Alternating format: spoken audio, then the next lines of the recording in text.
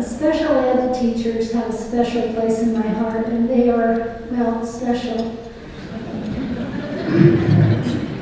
And so I would like to introduce to you this year's Special Ed Education Teacher of the Year. And this is a man who has a very tough job. He works with children with behavioral problems in grades four through six.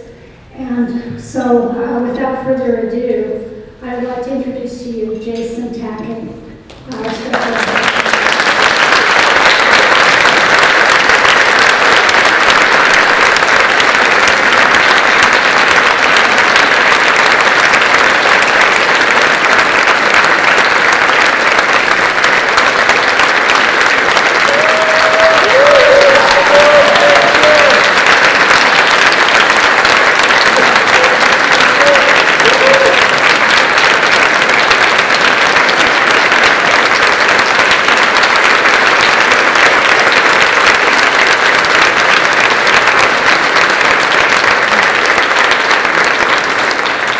Jason um, is a teacher at Franklin Elementary School, and Jason's co-worker is describing as the kind of teacher that helps transform students with troubled um, behavior, misbehavior problems into achieving students.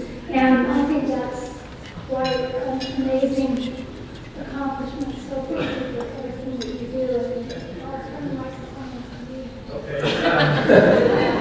Uh, yeah, so I just want to say thank you very much for this and for all the energy that goes into um, creating successful meetings to helping them uncover uh, the powerful resources that they are and um, to explore their own gifts and to use those um, to uplift themselves and, and all of us that are involved with them. So um, thank you to everybody. I don't know much more to say, but thanks for all the support and, um, and I really appreciate this. It's very exciting. Thank you.